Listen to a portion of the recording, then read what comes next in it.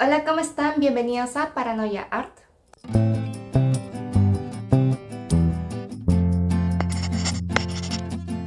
Espero que se encuentren muy muy bien. Hoy les voy a comentar sobre un tema que me parece súper súper importante, sobre todo si estás comenzando en este mundo artístico. Yo ya llevo varios años de estar dibujando, de estar pintando y créanme que me ha costado un montón, o sea, muchísimo mantener ciertos hábitos que me ayuden a mejorar como artista. He fallado un montón, pero así como lo he hecho, también he aprendido de ellos. Y créanme que ahorita y sobre todo en estos dos últimos meses que ya tenemos de haber comenzado el año, me han servido bastante. Así que les voy a comentar sobre cinco hábitos que yo considero que son importantes para mejorar como artista. Los tengo hasta anotados para que vean que vengo preparada. El primer hábito que les quiero comentar es el de la planificación.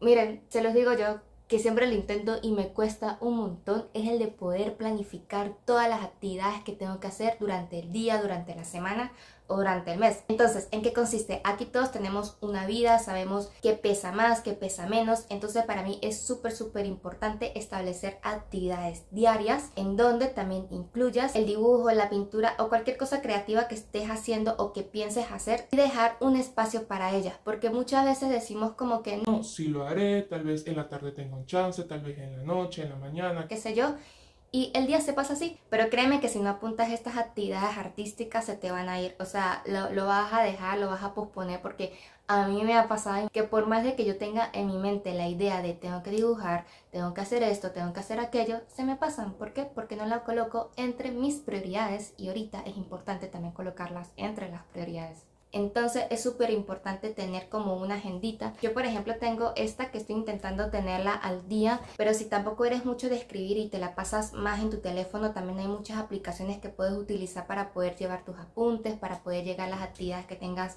del trabajo, de la universidad, del colegio y aparte incluir por supuesto las actividades de arte. El segundo hábito que recomiendo es el del orden y la organización. Y yo sé que también cuesta porque somos artistas y muchas veces como que el orden y la organización no, como que casi no nos llevamos muy bien, pero créanme, es muy importante que esto de hecho va como que muy de la mano con lo anterior en cuanto al orden de tus actividades, que va primero, que va después, la organización de tu espacio, tu espacio es súper importante. Yo sé que en el momento en el que estamos creando todo es una locura, todo es un desorden, pero siempre procura por favor ordenar tu espacio de trabajo porque recuerda que un espacio limpio es una mente limpia y aunque somos artistas y muchas veces nos encanta el caos, créeme que llevar un espacio bien ordenado, organizado, que huela rico, que esté pulcro, es muy importante también. El tercer hábito que recomiendo es el de siempre, siempre, siempre estar estudiando y buscando referentes. Hay que ser sinceros, no importa qué tan original sea lo que estamos haciendo, cuánto tiempo nos está tomando. Si estás comenzando, buscar referentes de otros artistas, ilustraciones, dibujos, pinturas, de lo que tú quieras que te puedan inspirar para poder llegar a lo que tú quieres lograr. Siempre, siempre, siempre se está aprendiendo. Todos los días estamos en búsqueda de crear cosas, de ir hacia algo nuevo y eso implica seguir estudiando y aprendiendo escuchar otras opiniones que a lo mejor no esté muy de acuerdo, pero siempre es bueno también escuchar opiniones distintas y tener presente estos estudios y referentes para poder mejorar cada día.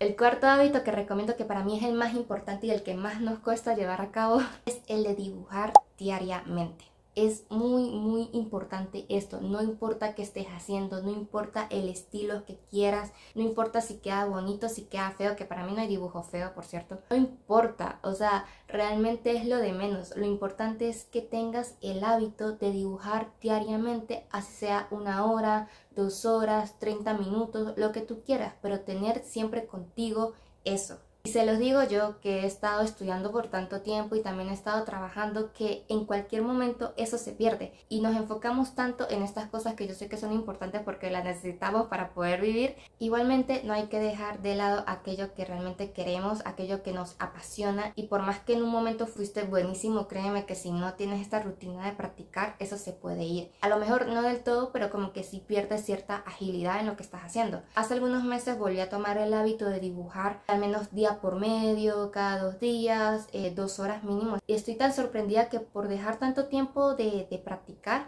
muchas de las cosas que hacía antes con más facilidad ahorita me cuestan bastante. Incluso yo misma me autoevalúo, me autocritico y digo, hey, o sea, ¿cómo antes podía hacer esto en tan poco tiempo con los materiales y herramientas que tenía que eran menos de los que tengo ahorita? Y podía hacer estas obras y ahorita me cuesta tanto y es por eso, porque perdemos la rutina de dibujar. Entonces yo recurrí a tener siempre como un cuadernito, un sketchbook. Ya no me enfoco en hacer dibujos tan grandes porque también soy una adulta y tengo muchas responsabilidades, pero siempre que puedo, así sea en tamaño carta, en el tamaño que en el momento el tiempo me lo permita, poder volver a dibujar y a llevar a cabo estas actividades diarias que después, en menos de lo que te des cuenta, ya has retomado otra vez esto y créeme que se siente súper bonito volver a ser tú y volver a conectar con tu arte. Y el quinto y último hábito que les recomiendo es que de hecho es como una conclusión o un resumen de todo, es el de establecer una rutina. Todo esto que les acabo de mencionar, de planificar las actividades, de mantener un orden y una organización, buscar referentes, estudiar, dibujar a diario, es para poder establecer y llevar a cabo una rutina. Al principio yo sé que cuesta, al principio es muy difícil. Si lo has dejado o nunca has empezado con esto y encima trabajas, estudias o haces alguna otra otra actividad aparte de la que quieres hacer ahorita, créeme que esto va a costar al principio, va a ser incómodo, pero desde la incomodidad tenemos que hacer ese esfuerzo para poder ser esos artistas que soñamos. Entonces es súper importante que planifiques todo esto, que lo lleves a cabo diariamente o que si me preguntas para mí unas tres veces por semana me parece lo más justo. No hay nada más bonito que poder aplicar esto en tu vida porque te ayuda a drenar, te ayuda a desestresarte, te ayuda a explotar y explorar ese lado creativo que no conoces. No tiene que ser perfecto, no tiene que ser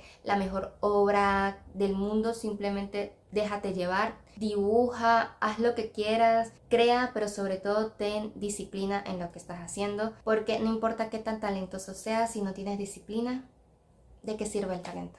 Así que nada, espero que les haya gustado un montón. Ahorita comenté solo 5, pero hay muchos más. De hecho, creo que les voy a hacer hasta una parte 2 de hábitos, porque si son muchos y son necesarios. Recuerden darle like, comentar, compartir para poder crecer. Y nada, nos vemos en el próximo video. Chaito.